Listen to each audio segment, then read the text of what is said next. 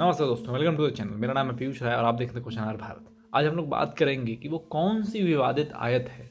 वो कौन सा इंस्ट्रक्शन है जो आपको किताब में मिलता है लव जिहाद करने के लिए? क्योंकि टर्मिनल भी वही है और मैं बाकियों की तरह वो चीज़ें नहीं करता कि टर्मिनल में कुछ और और वीडियो में कुछ और।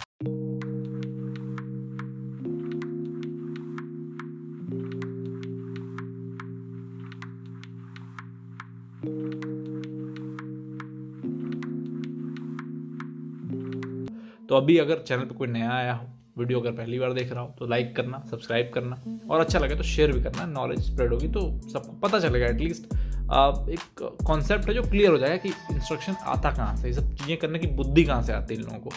तो किताब खोल के बैठ जाइए, नहीं तो मैं बगल में दिखा दूँगा कि भाई ये वो जगह है जहाँ से आपको इंस्ट्रक्शन आते हैं। सूरा नंबर दो, आयत नंबर टू ट्वेंटी वन उसमें साफ़ साफ़ लिखा है अगर आपको पढ़ने में आ रहा तो ठीक नहीं तो फ़ोन को टिल्ट कर लीजिए। हॉरिजेंटली समझ में अच्छे से आ जाएगा।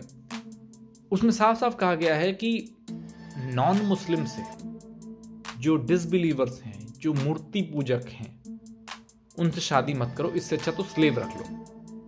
चाहे वो जो भी पार्टनर है, वो मेल है फीमेल है, उसे कोई मतलब नहीं। दोनों के लिए स्पेसिफिकली अलग अलग कहा गया है। जो अल्लाह में ईमान नहीं रखता उससे शादी मत करो। या फिर ऐसा तब करो जब वो अपना ईमान ले आए। अल्लाह में ईमान ले आए, अल्लाह को मानने लगे, मोहम्मद को मानने लगे, तब ऐसा कर लो। तो इससे दो चीज़ें क्लियर होती हैं। पहली चीज़ नॉर्मल पढ़ने वाला व्यक्ति ये सोचता कि भाई, करना मना है।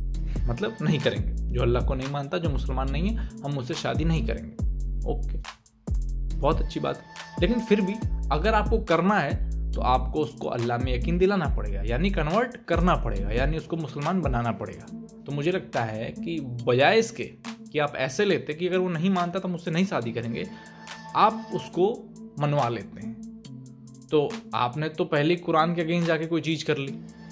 ठीक? उससे किया जो वो नहीं मानता था। लेकिन उसे मनवा के किया।